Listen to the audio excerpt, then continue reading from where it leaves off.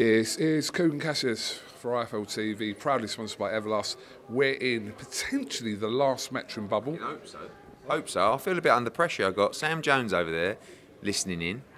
I've got Boazzi, got 258 management, Will Harvey, Mark. You know, I feel a bit under pressure here, but not hopefully the last bubble, the last bubble, and the last event behind closed doors.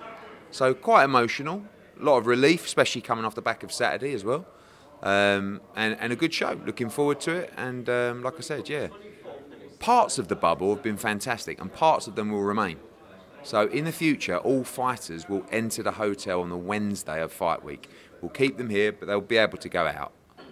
And you know, we'll keep the pool, the table tennis, the darts, the camaraderie. We should keep. Do you know what I mean? It's been good, hasn't it?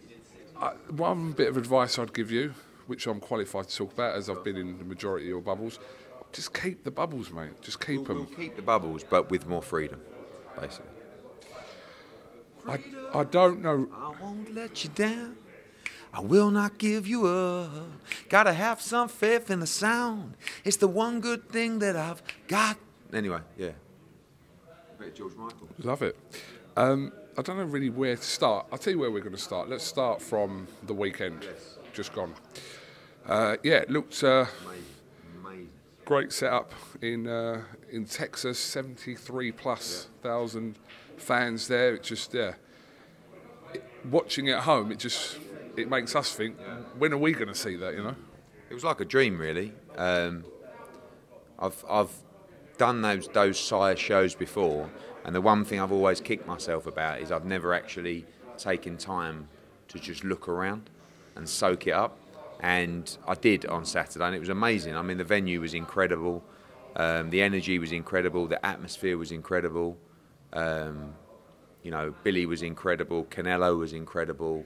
Everybody played their part um, for a historic event, and it just made you realise what's coming over here. Because once we open back up, people are going to be excited to going to go out. People want to experience atmosphere again. People want to embrace live sports and great shows, and you know that was that was was one of the best shows I've ever been involved with, and, and one of the biggest atmospheres I've ever seen. So amazing, amazing, and uh, you know uh, definitely a weekend that I'll remember for a long time. We'll uh, come on to Canelo in just a second, but obviously Billy Joe Saunders has suffered a horrific injury, eye injury. Um, I think when you were watching that, obviously you was there, so I don't know how aware you was of kind of some that sort of damage being done. anyone who's been around boxing and seen those injuries before, and unfortunately I've seen quite a few of them, you know when someone busts their eye socket. It's not, uh, you know, a, a swelling like a typical closed eye. It's a deformation of the face, and you know you saw it with Kell Brook twice. You saw it with Billy Joe Saunders. I've seen it with multiple other fighters as well. And as soon as he lifted his head up from the uppercut, you could see straight away that he'd smashed his orbital bone. I thought he was very brave to continue the round. I thought, um, I mean, one thing that Billy Joe Saunders showed in that fight, he's got a great chin. He took some big shots, and that was one of them. Um, I think if he would have come out for the next round, I don't think he would have ever boxed again. Um, and I think it would have been a, a terrible, terrible situation that, that round if he would have gone out. So I think the corner team did the right thing. I thought Billy was great in, in every sense of the word. I know we had our ups and downs in the build up, but fight week, the ring walk, he soaked it up and he came to win. You know, he, he never came into that fight trying to do anything else other than win. In the ring walk, at the press conferences, in the ring. But unfortunately, he fought the, the best pound for pound fighter in boxing. I had the um, scores closer than the uh, the judges. I didn't have him winning the fight. I had him winning at least two, probably three rounds. So, but he was just, you know, he didn't quite have the firepower, and, and Canelo was just too good. But Billy Joe, I thought, done a fantastic job, great performance, and I'd love to see him fight again because I think his stock has risen, um, and hopefully he can recover from the injury and be back. Yeah, I suppose we'll have to see how long his recovery period is first of all, and then see what see what happens after that. the recovery and also he, what he wants to do. You know, I think that I think what he'll be thinking at the moment is I want to get in there and I want to fight again. But also you have to see how, how long it takes him to recover And time is a good healer. You know, you see how he feels in a couple of weeks, couple of months, and then. But for me, if he's fit and healthy, I would love to see him back in the ring. The Eubank fight is still there, always will be. A huge fight. I mean, again, sometimes Billy might look at that fight and say, "Well, I want to try and win my world title back. I don't want to fight Chris Eubank Jr. I've already beaten him." But you can't ignore the size of that fight at the same time. Um, let's talk about Canelo. I think, uh, aside from the fight itself, the the antics in the press conference, and you looked very not uncomfortable, but you were like, Demetrius, get out of here now. Yeah. I just, I got a few people saying, "Oh, why didn't you back Demetrius Andrade?" Because it was Canelo's press conference, and listen, fighters have got to do what they've got to do to get. And I actually don't think it worked too badly for Demetrius. I mean, Canelo gave him a talking to, but at the same point, people were talking about Demetrius Andrade good, bad, you know, happy, sad, doesn't matter. They were still talking about him. And Canelo was quite cutting, wasn't he? And I think people are just enjoying seeing the personality of Canelo Alvarez. And obviously, because I'm around him and our team are around him, I don't speak Spanish. So he's having to speak English. Whereas before, I think everyone around him speaks Spanish, so that's his nat- natural. And don't forget, he's never learnt English. It's just things that he's picked up, which is quite amazing as well. But did you ever tell him to get the fuck out of here? get the fuck out of here, man. Um, but look, I'm only really getting to know him now. But I'm pleased that people are seeing um, all the things that I see, which is funny, quite vicious, cheeky. You know, just just a normal guy. And um, he's he's look, he's an amazing fighter. And but it's the confidence that he has right now. You know, just stuff about when we talked about the ring you know, stuff when, like, even going in the change room before the fight, he was just, like, literally asking me, when's the next fight? And, you know, I, I don't know. But I, I think um, he may be unbeatable. He may be unbeatable. And uh, I thought Billy done, Billy done a great job and gave him the best fight that he could, but it just wasn't good enough for against Canelo Alvarez. Uh, if it's not for some bizarre reason, Caleb Plant yeah. in September. What is kind of the backup options immediately for him to fight in September then? Well, I think that's the ultimate focus to, to become undisputed as quickly as possible. I mean, don't forget, um, from the from last December, he wasn't even a world super middleweight champion, right? And now we're in uh, May, and he's one belt away from becoming undisputed. So he won the, the WBA off Callum and the vacant WBC. He won the WBA off Billy Joe Saunders, and he wants to try and win the IBF off Caleb Plant. It's an incredible run of fights, and boxed a mandatory in between them all. So, you know, if you talk about fighting in September, you're talking about four fights in 11 months at that level. It's quite astonishing. Um, I think it'd be very sad if we don't make the Caleb Plant fight because why? I mean, if you're Caleb Plant, why wouldn't you want to fight Canelo Alvarez for undisputed? Um, but you never know. And, if he if that fight doesn't happen, there's other options out there for him. Of course, there's a Gennady Golovkin trilogy, which remains a huge fight. There's also uh, a fight up at light heavyweight potentially with Dimitri Bivol, which is a fight that, that Canelo's talked about as well. But all the focus is um, with with uh, Caleb Plant. Um, I got a phone call later with Luis de Cubas to go through the options, and Canelo's in a great position. You know, he's a network free agent. DAZN are going to try and break the bank to get that fight on there. Fox are going to, you know, come in with a, an outstanding offer for both guys.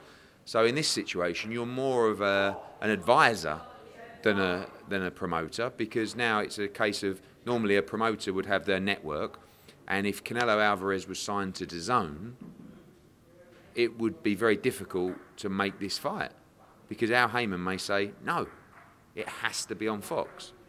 But there may be more money to do it on DAZN. So everyone's just got to be sensible, listen to all the options, and make the fight because it's the undisputed fight. It's the right fight for everybody to, to make. I'm sure Caleb Plant wants it. I know Canelo Alvarez wants it. I think um, hopefully you get to see it in September. But despite the relationship that you've kind of formed with him over the last however long, this is a little bit out of your hands now working together because obviously this goes out and anyone can put in to put this fight on. He's made it clear that he wants me to, to head this up for him um, and work with him moving forward. That's fine. I can do this on Fox. You know, I've, the I've so you would still work with him on a different network, yeah, yeah. No problem. And and DAZN know that as well. And my relationship with Canelo has always been under the understanding of DAZN that Canelo could fight on other platforms. So my job is not, oh, I must make this fight on DAZN. Of course, that's where I'd like the, the, the fight to sit. But at the same time, if there's a, a, be, a bigger opportunity to, to box somewhere else and he takes it, I'll still be his guy, I'll still have his back, and I'll still make sure we continue to do the job that we've been doing. So As a what to him though? as a promoter. Yeah, I mean that's you know that's that's um, his instruction will be to have uh, his break now. I'll talk to Cubas. We'll meet in a couple of weeks. We'll present the options to him. If it's you know if it, if it doesn't land on DAZN, it's not. Oh, see you, Eddie.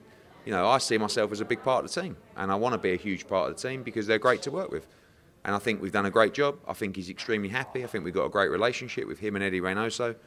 We've got a couple of announcements coming up next week about a new partnership with Canelo and Eddie Reynoso um, for, for a series of, of big shows, which is going to be um, fantastic. And we've worked very well together. So it's not, like I said, in, this role's more not just you have to box here, otherwise. And I think this is what is quite. Um, liberating about his position is that politics won't stand in the way of fights. And I think that's why he wanted to do it. Because he can fight any fighter from any promotional company on any platform. I'll tell you what, you're going to some great lengths for some D&G club, aren't you? I've got a lot of D&G clubber at the moment, Dolce Gabbana. You know, some call it D&G, some call it Dolce Gabbana. I prefer Dolce Gabbana. Um, one thing I found about the Dolce Gabbana, though, when I look back, is I really don't look very good in it compared to him. Do you know what I mean? Like when I put my pajamas on, people don't really know what the look is. When he wears Are they it, silk, yeah. they are, yeah. Um, What was the thing you was... Because my mum's got something similar. No, no, she has, the colours. What was that thing you was wearing? The, the Oh, pat, yeah, pattern yeah. thing? That's D&G as well, that's part of the new summer collection. Yeah. I mean, I don't know if you saw them posting across their account about about me. I saw it, I saw it, yeah. Eddie wears the new range from Dolce. Um, I just think it's I think it's I think it's a good look for boxing. Do you know what I mean? I mean, you know, haters are going to hate Coop. No, I love it. No, that's a sort of that's it's right up my street. It's fine. In I- fact, yeah. I, I, It's fine, mate. what is it? XL, XL, Double XL. double XL. Might be too big for me. I don't know. Edward, just finally on Canelo, uh, you've made some comments that you'd like to see him fight in the UK, and you were saying to me that at some point, this is obviously off camera. You're saying that you'd like to bring him over at some point to the UK. Well, I think he's beaten what seven Brits now, or something like that. So I think he's getting bigger and bigger in the UK. Obviously, we ran the uh, the Zone documentary with the BBC on Fight Week as well. Did huge numbers and is still doing huge numbers. I would like to bring him here just for some media activity and to meet the fans. I think he'd be, he'd be shocked at the response. Do you remember when we brought Devin Haney uh, just to, to London? And this was two years ago. The place was mobbed. They were queuing outside the street. So um, my plan for Canelo Alvarez is fight Caleb Plant, and then I want to see him fight all over the world. You know, I want to see him fight in the UK, in the Middle East, in the Far East, a huge show back in Mexico. There is so much to do with Canelo Alvarez, and I feel like only now, in the last year, are we really starting to push the commercial boundaries to make him the global star that he should be. Because the numbers that he delivers in the US, I've never seen anything like it. I mean, obviously the crowd, but the US subscriptions for DAZN last week, the UK subscriptions for DAZN last week, with Billy, of course, you know, just massive, massive numbers. Do we have an indication? Uh, no, I think that's for them to say. But I mean, I think at the moment, obviously, what's that? That that that one for the UK, Really? yeah, and, and double that in the US. Oh, okay, it's good. But don't forget as well, you know, in the UK, DAZN is still 199. So it was a it was a, it was a great opportunity. When's that price hike going to change? I think as they expand their content, I think that's inevitable, but it's still got to be at the right, you know, the right price. And I think that they, they have a fantastic understanding of that. You know, you look in the US and it's nineteen dollars ninety nine a month, or you get the annual pass for what hundred bucks, and other platforms are charging like if that fight on Saturday was on Fox or Showtime or ESPN would have been hundred dollars. or $90.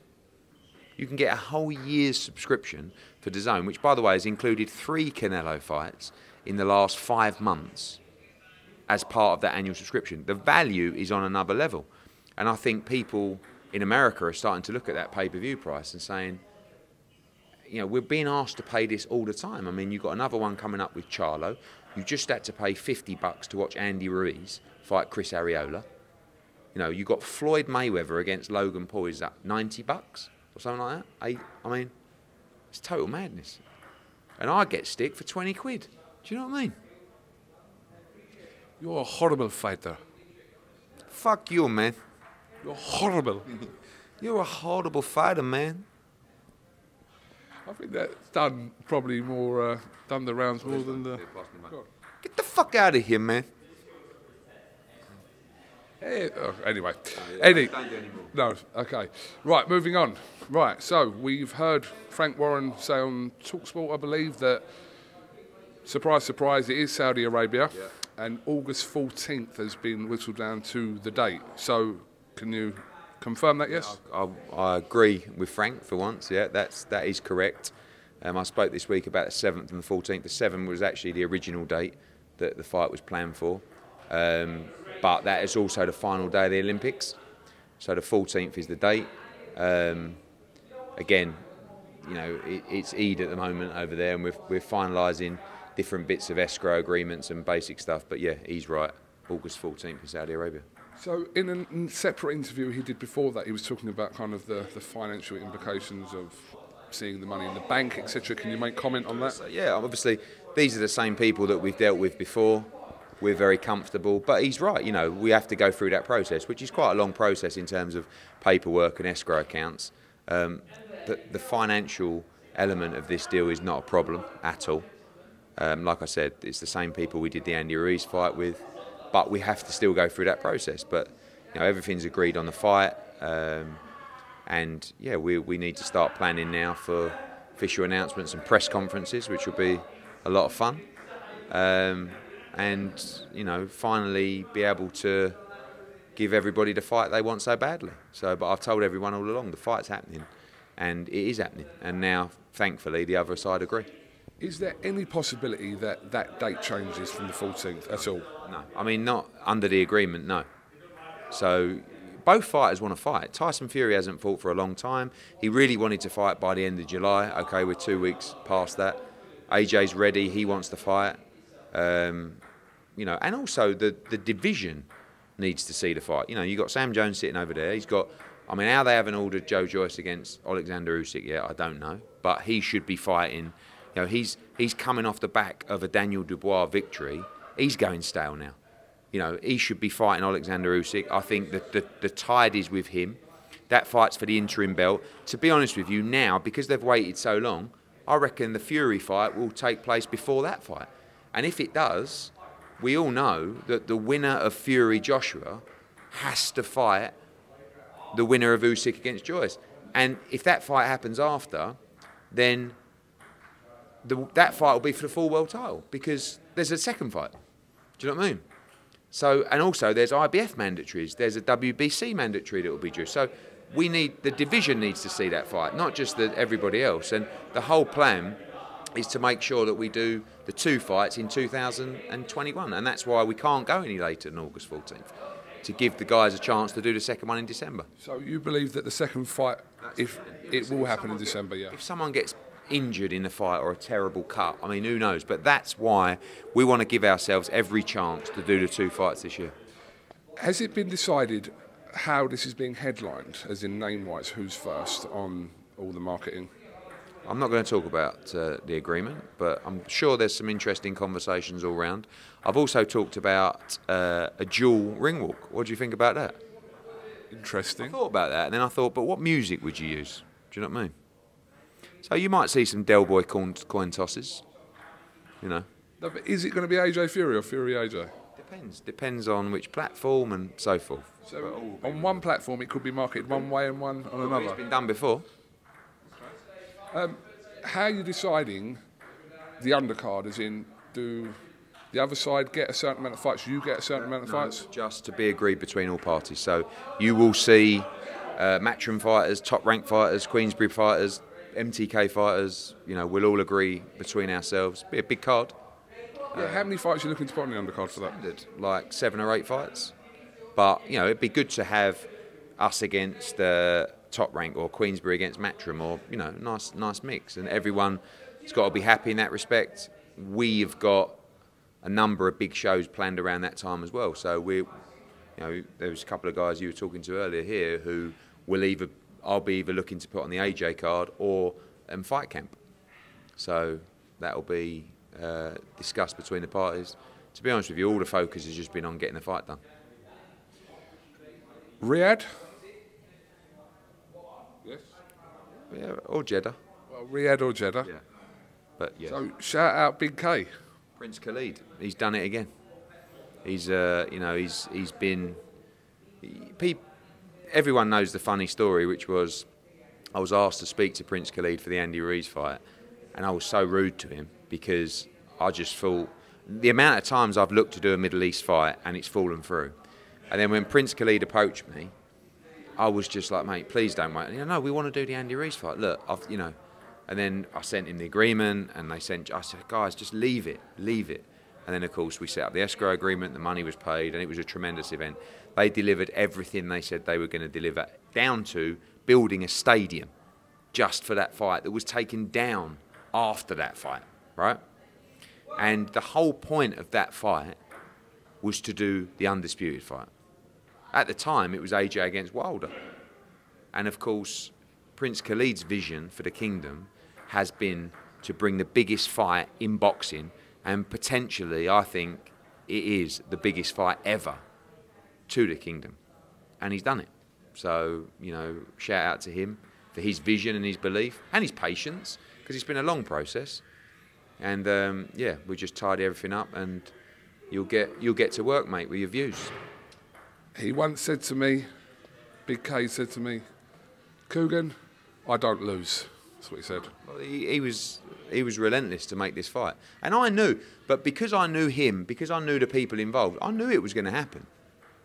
But you know, people who haven't been involved with it before will be sceptical, and I was. I was extremely sceptical before the fight, but I also knew once he told me, Prince Khalid, this fight is happening, I knew it was done. Are they building another stadium? That is something they're looking at, yes. I mean, August 14th, the, the temperature is about 24 degrees at night at 11 o'clock. It's not horrendous, but something they've got to consider as well at the same time. But they would like to build a new stadium for this fight, but that's down to them. Has the broadcast situation been sorted out for this? Or is it still being discussed? It's being, being discussed, but again, this is the main focus, and then that'll be worked out in terms of the. Go on, what are you going to ask? No, in an ideal world, um, what day would you like to literally like do your your famous posting? Because I'm assuming everyone's got a post simultaneously. I mean, it's Eid at the moment, so it's not. You know, it's probably. I was hoping, as you know, to announce, but everyone, we've written to the governing bodies as well to confirm the dates and everything. So, um, you know, it's. I always like to go quiet before announcement, but I think of a fight this magnitude, that's impossible. I mean, basically, you've been told the date and venue already. So, but it'd be still be nice to just post it, announce it, and just have a beer and go, thank fuck for that. Quite frankly. Okay. Um, who? Just last one on this, Ed. Who else would you have considered as serious offers to host this fight? Out of all the people, who did you consider like these were serious players? These were nearly got the fight. territories? Yeah. Well, there was a couple of other territories in the Middle East. There was a one country in the Far East. We looked at America. We looked at the UK, and I've seen a lot of people messaging me about, oh, how can you not do it in the UK? I mean, you do know that we're not allowed a full crowd. We went to Wembley Stadium and asked them, can we be guaranteed a full crowd for the end of uh, July, early August? And the answer was no. We try, and I we can't our job as promoters, I can't go to a fighter and say, right, firstly, um, you're going to get half the money to fight in the UK, but just to let you know, there is a chance that half might become a quarter if we can't get a crowd. That, I'm not doing my job. You know, you've seen from Billy Joe at the weekend. This isn't a, this isn't a joke. This sport. You know, you've got to make sure these fighters get the most amount of money for the biggest fights they're in. So, the only way to do this fight this summer is to do it there, and we're all very happy to do that. Okay. Um, can we discuss the Michael Hunter situation? Obviously, we heard from Kalle Sauerland the other day was fuming regarding Filip Hrgovic. I think it's a fucking joke, to be honest with you. Excuse my language. I mean, you got you got Hrgovic, who's out training, consummate professional, right? Out training in Miami, ready to fight. You've got Michael Hunter, who we've been negotiating with for six weeks, right, about this fight, and then we can't reach a deal, and he's posting non-stop. You know, the bounty hunter. Yeah, I'm gonna. You know, I mean, bear in mind, this fight is to become mandatory for the IBF world title. You are going to fight either AJ or Tyson Fury, right? Or you're going to fight for the vacant world title if the winner of that fight. So we go to purse bids. No one even turned up to the purse bids apart from me. But I didn't put a low ball in, which I could have done. I put a nice big offer in, right? Hrgovic over the moon. Hunter, not just happy, goes on social media, posts posters about the fight, right? Yeah, I'm going to become mandatory. Yeah, the bounty hunter. Yeah, no one can beat me. Yeah, yeah, yeah. And then basically just goes completely quiet, doesn't answer any emails, and then goes and fights Mike Wilson. Is he? I think he was in. Um, The Triller card. he was on in the Beach Boys. Um, I've had Mike Wilson in, in, in Monaco. He fought Gassiev, right, for the world title. I mean, he's a, he's a, he, he weren't even a big cruiserweight. I mean, what is Michael Hunter doing? So, I feel sorry for, for Hrgovic. Now we're going down the list with the IBF. But what a time waster. We saw Billy Nelson be very vocal about Martin Bakole. I wanted to ask you kind of who's now in the top 15. He's number 15, I think. So it has to go all the way down the list to get to Martin Bakole. But I'll tell you something now. There's a lot of people that don't want to fight Hrgovic, right? And a lot of them are also unavailable. Usyk is there, right? You've got Kabayel, who's got a fight there. You've got, uh, I mean, you've got other fighters that, quite frankly, I mean, you've got Demsey McKean. You've got um, Zhang. I think he's 14. You got you got Parker. Parker might fight him. No, he's got the Chisora rematch. Um, so it could go to Bakole, but it has to go for everybody else first. But the, the most annoying thing about the situation was the time wasting. If he was never going to fight Hrgovic, why didn't he just say, I'm going to move on, I'm going to go and fight Mike Wilson? But the whole idea, isn't it? Isn't it? To be, the whole idea is to win a world title, to become mandatory. And by the way, that's a, I mean, I don't know, Sam's over there. 50 50 fight, maybe, against Hrgovic. I mean, Hrgovic is a favourite because of size, but Hunter, you know. So, I don't know. He obviously didn't back himself. And I like Michael Hunter, but I just think it was a bit, bit shit, really. Okay, well, but who is it likely to be? I know they're saying they've got to go through the Could be IBF. Parker could be. Uh, I mean, Usyk's there, but obviously he's, he's fighting Joyce. Could be Zhang. Could be McKean. Could be Bakole. Could be. You know, they're going to go down. Kabayel's he's got a fight scheduled. I think. I mean, Kabayel. What's happened to him? I mean, he's fighting Kevin Johnson. They've just announced yesterday. You know what I mean? Just going back to Martin Bakole though, hasn't really kind of kicked on since the Kuzmin win. What what is the situation with him in regards to? You were saying that what you could do for him after that win over Kuzmin. Well, we, I, th- I believe our deal's up with Martin Bacoli, but still happy to work with him. Um, haven't you know? We, we we talked about the Hrgovic fight with him. We made him an offer for the Hrgovic fight, and he turned it down. Yeah, he's, he's more than um more than uh, right to do so if he doesn't think it was the right deal. But and maybe it will present itself again. Okay, um, I do want to ask you about Liam Smith, who I don't know if you've seen the fight. Yeah, so a lot of people, well, everyone I've spoke to, believe that Liam Smith did enough to win the fight against Kurbanov. Um, what did you think of the fight, and what could be next for Liam off the back of that performance? Um, I thought it was a really good performance from Liam Smith. I thought it was a really good fight. I thought he won the fight by a couple of rounds. Um, it was one of them when it went to scorecards. It was like, you know, um, are we? Are you going to get this in Russia? Um, I think Liam Smith can come back for for fights at world level. You know, I'd love to see him do the Kurbanov rematch. Um, I'd love to do that fight in Liverpool next time out. It was a great fight. Um, there's some there's some big fights for him domestically, but I still feel that he's beyond that level at the moment. Right? And then you know, I don't know. I mean, I mentioned the other day, and, and Liam wouldn't look at this fight yet, but if he keeps on winning, and you look at his world rankings, I'd like to see Anthony Fowler against Liam Smith in Liverpool. I think that's a huge fight. Um, and Fowler's moving up the the world rankings at pace, and there's going to be a time Fowler's going to step up in a big fight in the summer where Liam might want Fowler's world rankings. But at the moment, Liam's kind of saying, no, I'm, I'm world level, but... He wants Vargas and Tim Tszyu. Yeah, but he lost. He just lost to Kurbanov. I don't think he should have lost, but he did lose. So it's difficult to get a Tim Tszyu fight coming off a loss to Kurbanov, um, even when he should have won the fight.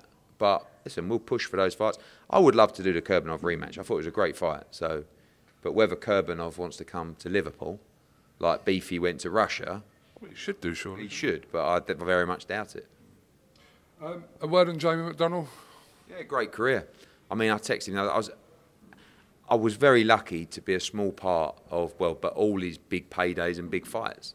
I mean, he just had it off at a time where PBC came into boxing, and you know he got paid a fortune for Kameda, then he got another fortune for the rematch, then he went and fought in Inoue um, he boxed at Wembley, and he, you know, had other defences around the world. He boxed in Monaco. You know, he really got a lot out of his career. I felt, you know, and um, I know the Inoue fight obviously didn't work out for him, but you know, I don't think he should. He was at a stage in his career where he just couldn't make bantamweight anymore. And great, great kid, great career, bit of an unsung hero, I feel, of British boxing but can look back with, with tremendous memories and can walk away from the sport happy and healthy. Um, just a few Twitter uh, wars going on, shall we say, over the last few days. We had Tyson Fury and, and Dillian Whyte, and yeah. we had said Anthony Joshua instigated that one the other day, and Tyson Fury. Yeah. Talking about Spartans and Dossers. Yeah, yeah, and yeah, yeah, Spartans, Dossers. I, I, don't know, I haven't really. I know that. Um, AJ, I think you're going to see a. I think you're going to see an active AJ in this fight. I think he's going to enjoy the build-up. To be honest with you, um, Dillian was having a pop-up fury, was he, for not getting involved in the Billy Joe Saunders dad scuffle when he was trying to get in the ring. Um, it's all good fun, isn't it? It's all good fun. We just crack on and get ready for, for this Saturday night. What's happening with Dillian Whyte? I'm seeing him, these guys tomorrow actually to go through the next move. I'd like I'd like to see him fight in America. Um, I think that's the place for him to have his next fight. Chuck this in here. Could Arreola be a potential opponent? I thought that the other day, right, um, a lot, lot of potential opponents, but certainly Arreola in the States would be a big fight as well. A couple of other names. Okay, but definitely in the States, you should think well, he'll fight. But I think I feel like you know, he's had a lot of tough fights back to back. So, not saying he's going to take an easy fight, but you know, I, I, see his big fight coming later this year. So unless he waits for that, there is an option for him to box in July in America if if he wants that. Okay, finally, this Saturday. Yes, oh, go, go I know. Once got I know. gossip out of the way. hold on a minute, mate. We're just doing things in chronological order. Okay. Okay. That's a big word for you. Yes, it is. Uh, I'll just hand you the mic. All right, let's just say, obviously, get well soon, Terri Harper. Hopefully, yeah. that fight gets rescheduled for another time against Troy. But uh, the card goes ahead. So just talk to us about the card, Alex. Well, it's a triple European title fight card, which is actually quite unique. Can't remember last time I had two European title fights on a card. Of course, the return of Joshua Buatsi against Daniel Dos Santos, 15 and 0. Lively kid. I mean, great story. I don't know if you've interviewed him yet. You need to you need to ask him about his backstory. So he was in prison, found boxing, changed his life, etc. Very fit, very strong, very rangy as well, can punch as well. And JB's got to come and make a statement. You know, I said to Josh Buatsi, he just hasn't been active enough. And you've got these other light heavyweights at the moment. who are coming on strong. You know, uh, Lyndon Arthur with a good win over uh, Yarde. Craig Richards did great against Bivol the other night. Callum Johnson's back. Um, so now's your time to go and make a statement and, and stay active. Win on Saturday, have a big fight at Fight Camp in the summer, and then go and fight for a world title. Whether it's Bivol yourself, whether it's Joe Smith Jr., those are the kind of guys. Beterbiev, you know, tough, tough opponent, but these are the guys Buatsi's got to be looking at. But he's got to look good on Saturday, and he's got to be active. Great Yafai for Lerone Richards uh, against De Carolis for the uh, the European super middleweight title. This is a really tough fight, actually. De Carolis had the world title, the regular WBA title, beat Feigenbutz, drew with Zeuge. He can really fight. It's a big step up for Lerone Richards, and I'm expecting him to be in a tough fight on Saturday night. Gamal fight back after a horrific uh, couple of years of injury, of course, winning the European Super Bantamweight title in Italy last time out as a really good fight against Jason Cunningham. You know, Steffi Ball's charge on the card, and also Steffi Ball charging Lee Appleyard against Dalton Smith for the English title, which is a really good step up for Dalton Smith, who I think is arguably one of the best young prospects in the sport right now.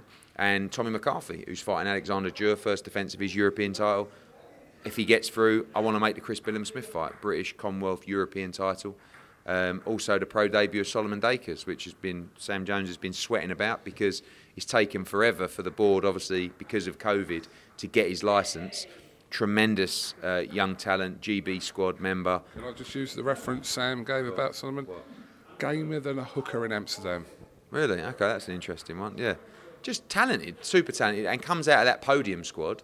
Um, and you know a, a, very very talented heavyweight that I think will move quickly as well. And I think you'll see that starting on Saturday night. Ellie Hopkins will make her pro debut, and as this is going out probably in half an hour's time, something like that, we can also announce the uh, signing of Sandy Ryan, who we're about to announce in half an hour. Um, fantastic young fighter. Of course, we know women's boxing is flying, but even before I was in with women's boxing as I am now, I watched Sandy on a GB squad and I always felt she'd be a fantastic fighter. She had a great amateur career. Now she leaves the podium squad, coming in at super lightweight, which of course you've got Chantelle Cameron there, you've got Katie Taylor, the division below, you've got Terri, uh, you've got Terri Harper who will inevitably move up, you've got Tasha Jonas who can fight anywhere between super feather and super lightweight. You know, I think Sandy is someone that can win world titles at super lightweight, at welterweight, at light middleweight. You know, who knows in time she could be fighting Claressa Shields. I think she's of that level, and I'm looking forward to her pro debut. Do you need a toilet or something? No, I don't. My card's running out. I've got one more question for you, and then we can uh, we can finish, and you can go back and do business. Are you any closer to making your decision regarding your future broadcast-wise? Uh, will, there will be an announcement in due course. Still got another minute if you want to talk no, about anything. That's it. No problem. Edward Hearn, thank you very much for 40 minutes of your time today. And I was supposed to have a meeting. That's what you originally said to me. Oh, so I did have a meeting. You're, I thought I'd do this first. You're eventually putting people, me first. People needed to know. Edward, thank you very much. Tune in Sky Sports, DAZN this Saturday night.